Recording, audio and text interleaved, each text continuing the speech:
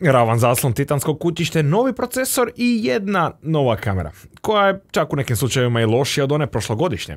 Tako otprilike na papiru zvuči nova S24 Ultra pokraj ove stare S23 Ultra. Dodamo li na to probleme sa signalom i performansama novog procesora o čemu se priča po internetima, nije ni čudo što nekima ovaj uređaj izgleda kao totalni promašaj. Ok, tu su i novi AI softverski trikovi koji će sigurno doći i na fantastičnu S23 Ultra. Ili možda neće. Nije sve kako se na papiru čini i unatoč svemu lošem što ste možda čuli ili pročitali zadnjih dana, vjerujte mi kad vam kažem da je ovo najbolji Samsungov telefon ikad. Istina, s par ozbiljnih potencijalnih problema, ali bez brige, sve vam objasniti.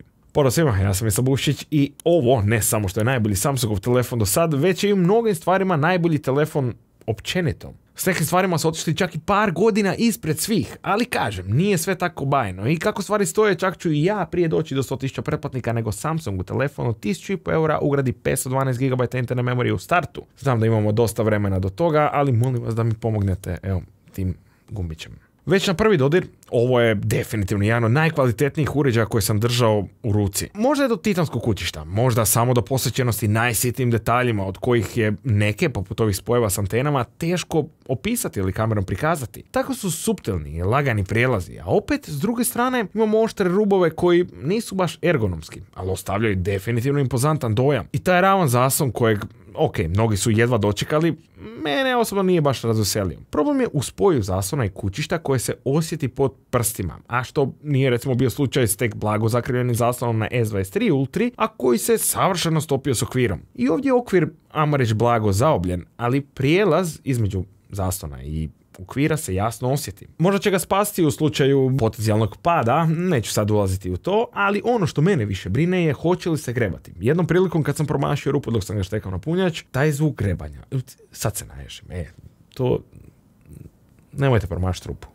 Meni sva sreća ništa nije bilo telefonu, ali valja pripaziti na to, a bome i na S Pen koji blago uvijek srši nekako van kućišta. I sad vam mogu reći i da sam više puta izvodio Ultru iz džepa s otključanom olovčicom, što mi se na S23 Ultra nije dogodilo baš nikad. Zaslon je bio fantastičan i prošle godine, a ove ima novi Gorilla Glass Armor i to je baš velika promjena na bolje. Kažu da je četiri puta otporniji na grebanje od Victusa, koji je bio na S23 Ultra i on mi je izgreban baš ono previše. No, ono što možete na oko odmah vidjeti na ovom novom zaslonu je neusporedivo manje refleksija. To je toliko bitno dok se vani, jer zaslon uopće ne mora biti toliko svijeta da biste vidjeli što je na njemu. Vidi se baš, baš velika razlika odnosno na S23 Ultra i vjerujem da je i to doprinijelo bateriji koja je fantastična, ali ona ima jedan ozbiljan problem o čemu ćemo malo kasnije. Nova je vibracija, odnosno vibromotor i rekao bih da je možda možda ovo čak i najbolja vibracija na jednom telefonu koji sam isprobao do sad. Nije najsnažnija, na S21 Ultra je definitivno snažnija, ali je tako fino uglađena, tako je dobra, a opet je i dovoljno snažna da se osjeti u trapericama. Ako ste više tip za zvonjavu, oduševit će vas i zvučnici. Definitivno jedni od najboljih koje sam čuo jednom smartfonu. Ok, nemam sam mjerne instrumente da ovo dokažem, ali meni na uho stvarno fantastični. Slušalica je s druge strane opet dosta glasna, ali za nju bih volio baš da je suprotno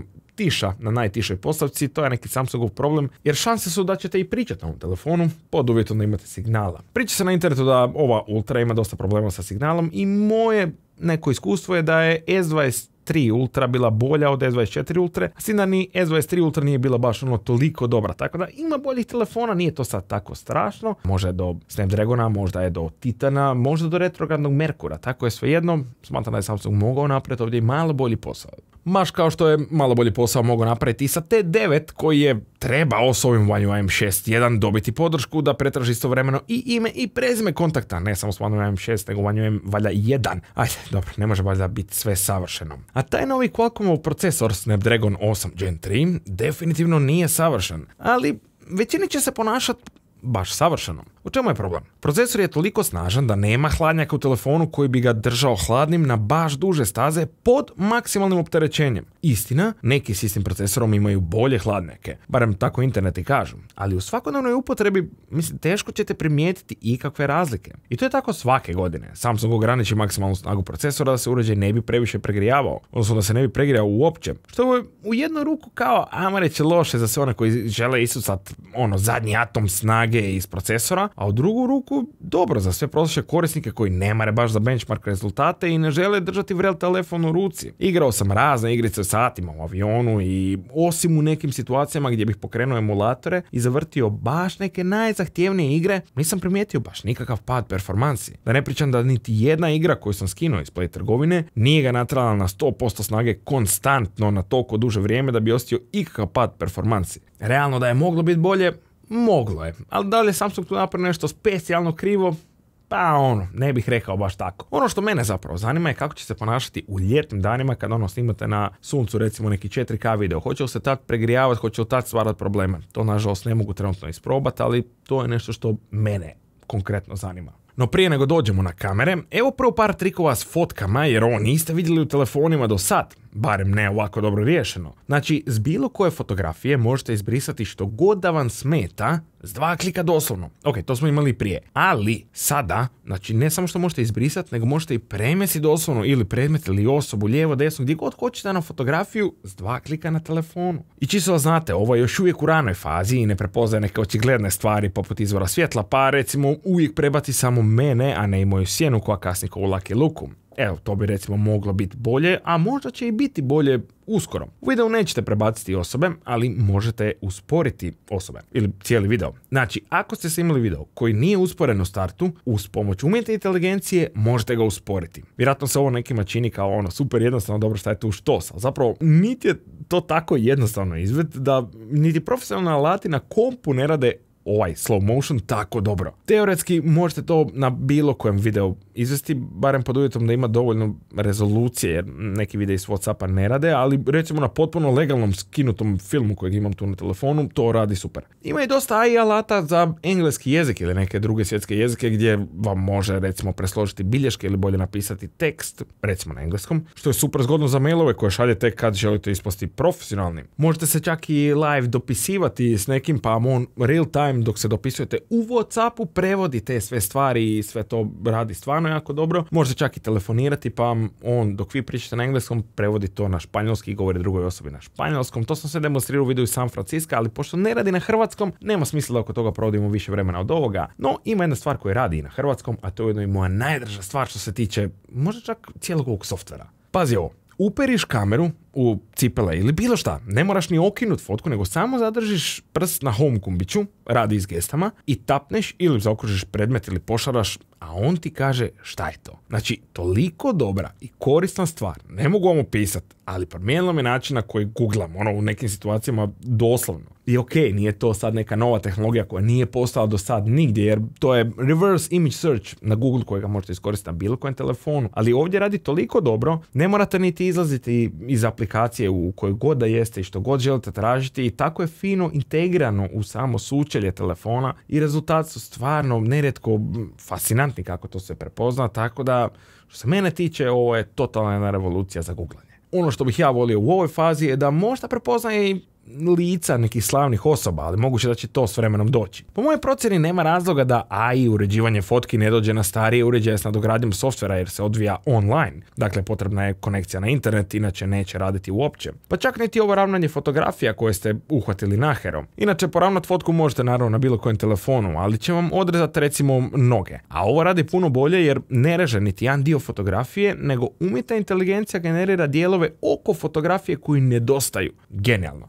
slow motion, odnosno usporavanje videa bi teoretski možda moglo ostati čak rezervirano samo za S24 Ultra. Možda eventualno S23 Ultra dobije tu nadogradnju jer je potrebno baš dosta procesorske snage da se to izvede i to radi na telefonu direktno bez interneta. E sad, Samsung kaže da će ovo biti sve besplatno do kraja 2025. Doduše nije definirao točno što sve je to besplatno i od tih AI opcija, a što neće biti, što će se plaćati i koliko će koštati. Dvije su moguće situacije u kojima bi Samsung mogao krenuti, ajmo reći, s naplatom ovoga rješenja. Prva je ta da će ponuditi recimo to besplatno u slučaju da kupite šta ja znam 100 GB memorije na cloudu za pohranu fotografiju, onda on kaže evo ga imate AI za džabe. A druga situacija je da će ponuditi to doživotno za džabe zato što će i konkurencija imati iste AI alate ili jako slične ili će doći neki besplatni softveri koji će to raditi na telefonu jednako dobro. No, kao i uvijek postoji razlika između besplatno i džabe, a najlakše je zapamtiti tako što možete nekome reći da se džabe školovao, ali ne i besplatno. Usporedio sam malo kamere sa S23 Ultrom i one su na papiru iste, osim nove 50 megapikselne 5 puta telefoto kamere koja je tu umjesto one 10 puta optičke. Doćemo do tog dijela, ali prvo ove koje ćete malo češće koristiti. Situacija je takva da, iako su kamere iste, opet su rezultati nešto drugčiji jer je drugčiji procesor koji nosi dobar dio zasluga za kvalitetu fotografija. Tako možete u većini slučajeva očekivati otprilike jednako dobre rezultate, ali će povremeno fotografije između dva modela izgledati malo drugčije, gdje će nekad S23 Ultra imati možda malo hladnije tonove, S24 Ultra malo toplije, no količina detalja, dinamički raspon i općenito sve redom je na vrlo sličnoj razini. Ono što sam primijetio je da je S24 Ultra bolja u kontroliranju odsjaja, flareoval kako ih već hoćete nazvati. I to su one situacije kad svjetlo direktno upada na kameru. Minimalne su razlike, ali eto postoje. Generalno su 12 megapikselne fotke koje zadano hvata zaista odlične. Definitivno ne i dalje najbolje koje sam vidio u jednom smartfonu, ali kao što sam rekao i sa S23 Ultrom, iako nisu najbolje, konzistentne su. I cijeli taj set kamera je toliko širokog raspona da je ovo jedan od najboljih smartfona za fotkanje i snimanje. Možete do duše fotkati i u 50 megapiksela ili 200, ali već i na 50 megapiksela se vidi mali pad dinamičkog raspona a na 200 megapiksela pogotovo. Tako da, ako trebate fotkat nešto s puno detalja, 50 megapiksela je moj savjet. Nadao sam se da će te veće rezolucije biti malo bolje, baš kao što sam se nadao i boljoj selfie kameri koja je u ovom trenutku, evo ne sam, ima nekih glupih problema gdje, evo, kvaliteta fotki zna stvarno varirati. Nadam se da će to popraviti s nekom softwareskom nadogradnjom. Ne bi to tako smjelo biti jer lanjska kamera koja je ista ovoj nije imala takvih problema, no generalno kada radi i kad hvata dobre selfije, stvarno hvata dobre selfije. Volio bih da je ultra širokokutna kamera poboljšana jer iako po fotkama možda ne primijetite njene nedostatke, na videu se oni vide, pogotovo u lošim uvjetima osvjetljenja gdje u odnosu na primarnu kameru ima baš osjetno veću količinu šuma, a zbog kropa kadra šansu da ćete često snimati sa baš njom. Isto je bilo i prošle godine, ali gledajući općenito video je ipak bolji jer mu dosta pripomaže novi procesor, a što se lijepo da vidjeti kod stabilizacije.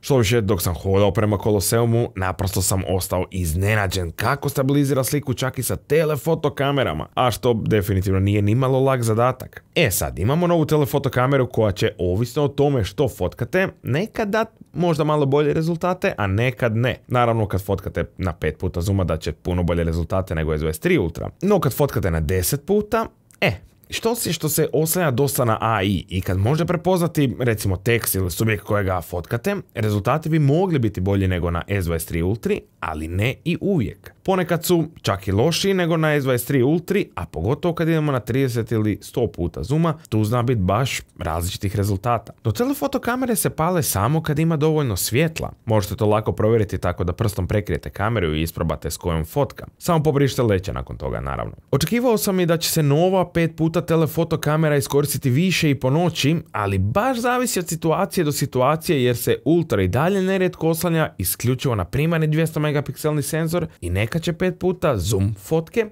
okinuti baš s njim umjesto s novom kamerom. Da, po danu ćete dobiti bolje portrete i u nekim usporedbama će na 5 puta zooma biti neusporedivo bolje od 23 Ultra kao što sam rekao, ali generalno pa nisam baš pretjerano impresioniran s njom. Da je dobra kamera, je, ali da sam očekivao nešto bolje, jesam. Ne znači da je to loše. Da pače, u određenim situacijama me baš ugodno iznenadila, ono, pogotovo kad ima dovoljno svjetla. I dalje imamo onaj problem kad želite fotkati klince koji se miču, ja sam to demonstrirao na ljudima i bez obzira na dnevne ili noćne uvjete, to a, nikako da popeglaju. Ali imamo snimanje videa u 4K u 120 sličica po sekundi, dakle 4 puta usporeni video u 4K rezoluciji. I mogu vam reći da to izgleda puno bolje nego sam očekivao. No još jednom napominjem, kamere su zaista vrhunske, a to što bih ja volio da su uvijek nešto bolje, ne mora značiti da vi nećete biti zadovoljni s njima. I konačno kad pokrenete snimanje u 4K60 možete se šaltati između kamera. To na S23 Ultra niti na jednom prije Samsungu niste mogli do sad. Rekao sam već da je selfie kamera ista kao i na S23 Ultra,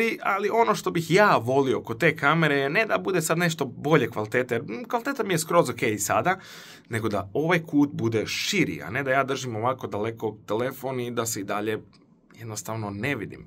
No ima jedna stvar koja je kod selfie kamere puno bolja, a ta je, mislim ne samo kod selfie kamere, ali vezano u selfie kameru, a ta je da možete ubaciti pozadinu dok se snimate.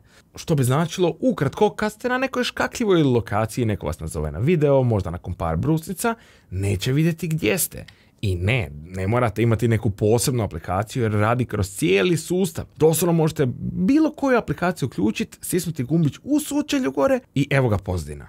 Mislim, svaka čast. A svaka čast i Goranu, koji se i ove godine sjetio s videom iskutijavanja iz Brazila, pa me podsjetio da Samsung i dalje isporučuje punjač u pakiranju u, u Brazilu, jel? Kod nas dobivate samo telefon, aj, i kabel, mada ne znam zašto i kabel, realno ne znam i čemu kutija. Daj samo telefon u škaniclu i dobro, priroda je spašana. Mislim, i šta će vam uopće punjač?